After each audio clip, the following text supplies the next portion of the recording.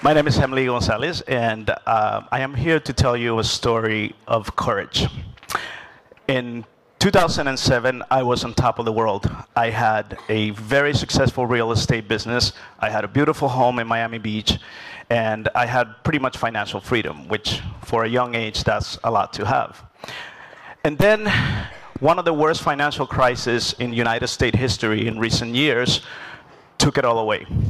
I lost my business, I lost my home. Essentially, I almost lost all my dreams. I wasn't alone. Thousands of people experienced this drastic change. So I did what everyone who wants to know what the meaning of life is and all the big answers to the universe does. I came to India. and I came to India not to become a sadhu. I didn't want to do yoga, all those cliches that a lot of the people from the West come here to do. I came because I finally had time to not do anything else. So I decided to go backpacking throughout the country, a four month backpacking trip. And I think four months was a little bit too long, maybe too ambitious. So then I decided to split that time in half and do humanitarian work. And up until that point, I have been charitable. I used to fundraise for other causes. I used to donate um, to, you know, cancer charities and AIDS charities. Uh, but I never really had time to do volunteer work, like on the ground volunteer work, so I thought this was a perfect opportunity. So I chose to volunteer at a very uh, famous world charity that started here in Calcutta. And within days, within days of being in this organization, I was horrified. What I found, I couldn't believe. We were witnessing some of the worst conditions I had seen human beings being kept in and this was a multi-million dollar charity. So my question was, where was the money going? I decided to speak up. I couldn't stay silent. And I launched a movement of awareness that got thousands of people online to ask the same question. Eventually, the international media signed on. And now that the pressure was on, this charity was forced to make some changes. But it wasn't enough. I decided to go back to the United States and sell whatever little I had left of my possessions and raise enough money to come back to India and place the children of the families that I had met in the slum communities in school. And then at that time, when I returned to India, I became friends with a very charismatic young man who I think was crazy enough, like I was, to go into the slums with me. Uh, to most of us, his name uh, is, or, or, his nickname to our friends is Kutush. To the close friends is Kutta. but Kutush was crazy enough to go into the slums with me. And I think he did it out of curiosity. He was like, what is this white dude going to do in the slums? Honestly, I was like, what am I going to do in the slums? uh, but to the slums we went. And immediately something happened. My naive idea of just taking children by the hand and placing them in private schools and saving the world and then get on a plane and going back to the US, that went out the window right away. A new reality took place. All of a sudden, we were being approached with serious cases uh, of medical issues. People were running up to us and saying, please help me with this, or please take care of my uh, child, or please, I have a property rights feud. Um, and quite frankly, I wasn't ready for that. Um, it was more than I could handle. And the problems kept piling up. So we couldn't even get to the issues of education because for the first time, I think people like myself and maybe uh, Kutush came to the slums with an open mind and to ask the question of how we can help you. And then word spread around, so then people started lining up with their problems. And so it was not at all my idyllic of put the kids in school and the problem is fixed. I never told anyone this, so this is probably a good idea to let it out now. And for many days at the beginning of my endeavor, I went back to my little roach infested room in Sudder Street and I cried. I had just come to India with a one way ticket. I had very little money, and my idea of changing the lives of the people that I had met prior was being questioned to the core. I was being questioned to the core. But I was also challenged. And every time that I've been challenged in my life, I've tried to find the courage to change the situation. Those days of crying turned into reflection, and every morning I got up and I went back into the slums, and then something really, really wonderful happened. All the people joined in people started hearing about what we were doing and they were genuinely interested in joining in. I think part was what are they doing? The second part was they really wanted to get involved. All the volunteers started coming on board. And then things started to get easier. During this time, I was also doing documentation of everything that was happening in the slums in social media. And university students started coming along, and their friends started hearing about it, and all this started expanding this collaborative effort. At the same time, people around the world were paying attention my family, my friends, and strangers, and they started to send in small donations. So now, all of a sudden, all these problems that we had, all these gruesome medical cases, we could go back to the slum and say, you know what, let's go to a decent hospital. You know what, we have money for this prescription. That started happening. That gave me so much courage. That gave me so much faith in humanity that the job became a lot easier. I took my skills from real estate and I was able to transfer them for the work that we were about to do. My hotel rooms became storage facilities. I couldn't use my kitchen for one year in one of my places. We have a lot of boxes and everything was stocked up. Uh, they also became distribution centers. We had a lot of the women and the families coming to pick up stuff and drop off stuff and process um, prescriptions. So it was very clear that we needed a space because this was not going to be very efficient after a long time. So I took all my skills from real estate and logistics, management, organization, and I started to apply it to this cause. I decided to fundraise to establish our first center. I did this for two years. I set a clear goal and a timeline, and I begged and I hustled and I knocked on doors and I asked people that I hadn't talked to for years if they could help, whether it was a $5 donation or a $500 donation.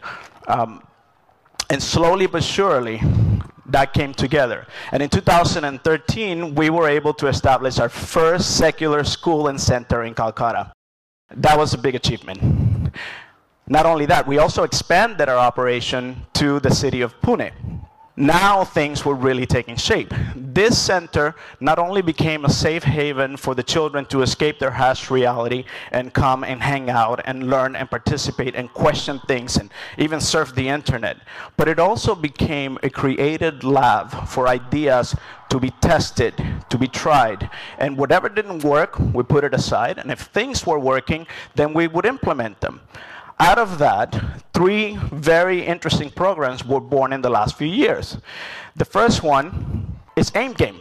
I have a question for the audience. How many of you here started going to school after the age of 10? Raise your hand. That's what I thought. No one. A lot of the children that we work with never even get the opportunity to go to school. Sometimes by the time the parents realize that, hey, maybe it's a good idea to educate our children, they've lost the primal years of learning, of understanding the things that you and I take for granted because we've had them all our lives. So we developed Aim Game as a way to teach them from an unconventional method. School can be very boring, even for some of us. And for these kids, it was extremely boring. But playing games wasn't. So between the ages of 6 and 12, we developed a program that has them competing for a full year for cool prices, and they get all the things that we donate to them throughout the year. But what they don't see happening, and this is what us, the coordinators, are paying attention to, is that their critical thinking skills are on fire. That they are playing with the opposite gender, that they are disciplined, that they are showing up on time. Sounds like school, doesn't it? And that's exactly what this program has been able to achieve. So over a year period, once they're done with it, the best players are then advanced into private schools, which the uh, charity pays for fully. The second program is Slum Jam. Slum Jam is a program that takes professional music teachers, brings them in direct contact from children from slum communities, and teaches them how to play musical instrument. Something that is usually reserved for middle and upper middle class Indian families. And it's a really fun program because at the end of their year, we throw a concert And then they have to get on stage and show what they learned to not only us, the people that are involved in the charity, but they also have to show it to their community in the slums. The third program that we've developed over the last few years is an easy one where everyone in this audience can actually participate. Clothes for Help delivers clothes to people in need. Simple. The first priority is that everybody gets clothes on their backs. We go into slum communities. We take clothes that are donated from citizens all around the city. We sort them. We then take them to the uh, communities. And when we've clothed an entire community, what we do is we teach the women of the families that we work with how to sell the rest of the clothes in secondhand markets, and then they keep the income. And this is in uh, one of the slum communities in Pune that we work with. That's a sorting day and then, of course, distribution. I want to talk to you about one of the most difficult parts of charities, which is the funding process. If you look at the Pratham Foundation, that's the largest education charity in India right now. They receive almost $22 million in funding per year, or 148 crores for our Indian audience to understand a little bit better. The next charity is Teach for India, which is another great education charity, and that comes at a much smaller circle. Now, these circles are proportionate in size, so I'm trying to illustrate to you what happens with uh, the funding that these charities receives and what they do on an annual basis. And then the third charity that I wanted to show you was us uh, and our funding. Basically, Pratham Foundation was this big, Teach for India was this big at $8 million. And then responsible charity is a dot. It's like a flea that you can't even see. At $65,000 a year, for example, for last year in funding. That's about 44 lakhs, to put it into perspective. That is tiny. Not only is it tiny, but we're like a flea on a camel's back but we're a mighty flea. And we're very innovative, and we're very creative, and we are actually accomplishing a lot with very little money. But what's even more astonishing about that is how that money gets collected. And I want to point your attention to this collage of faces. Every single one of these faces represents one of our donors from around the world. Some of them are friends and family, but the majority of them were strangers that saw us on social media and here as well in India and decided to join in. These are people from all walks of life. We have single mothers in there. We have students. We have people on disability that are donating three, five, ten dollars a month.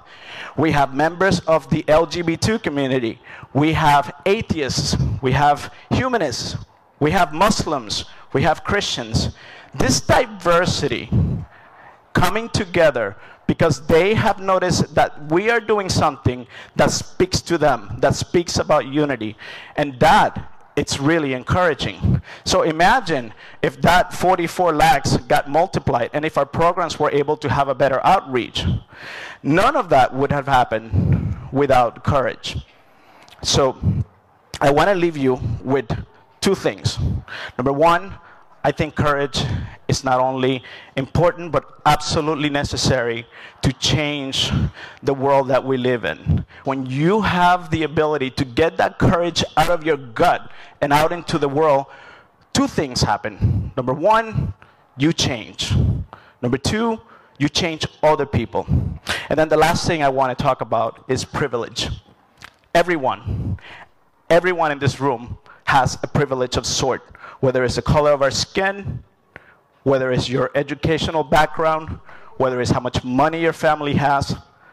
And when we use that privilege to advance the rights of other people rather than just making our lives comfortable, not only do we become better human beings, but we start to shift the way that our communities behave in a positive way, and maybe, just maybe, we start to realize the change that we wish to see in our world. Thank you.